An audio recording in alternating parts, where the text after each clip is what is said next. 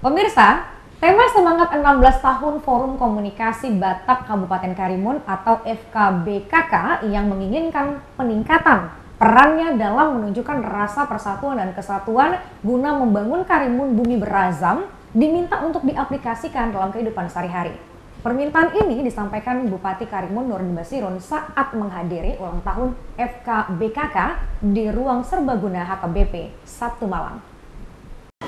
Oleh karena itu, mungkin pada ketua Kepada ratusan anggota Forum Komunikasi Batak Kabupaten Karimun FKBKK yang hadir di acara ulang tahun FKBKK ke-16, Bupati Karimun Nurdin Basirun meminta agar tema ulang tahun FKBKK yang ke-16 diaplikasikan dalam kehidupan sehari-hari.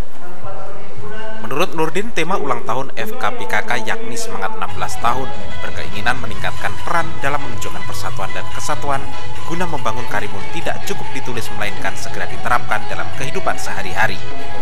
kita harap tema ini adalah menjadi tanggung jawab kita semua. Hanya tidak hanya tulis di depan sebagai perekat, sebagai pencitraan, sebagai publikasi. Ini kita harap menjadi modal yang harus kita aplikasikan bersama-sama.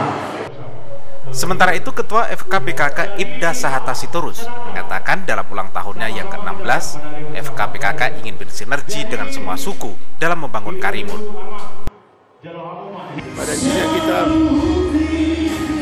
membangun ikut berserta, ikut serta membangun Karimun supaya lebih maju dan kesejahteraan yang merata di Kabupaten Karimun. Keinginan kuat FKBKK ini tidak lain hanyalah untuk membuat masyarakat Karimun lebih maju dan sejahtera. Di akhir acara Bupati Karimun Nurdin Basirun yang memakai ulos tampak ikut manortor dan menyanyikan sebuah lagu kesayangannya sebagai hadiah ulang tahun untuk FKBKK. Dari Karimun, Iwan Mohan dan Al Jupri melaporkan.